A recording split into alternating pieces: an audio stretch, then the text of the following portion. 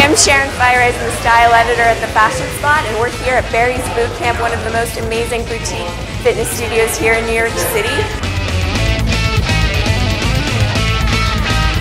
This is a workout. This is something that's very difficult.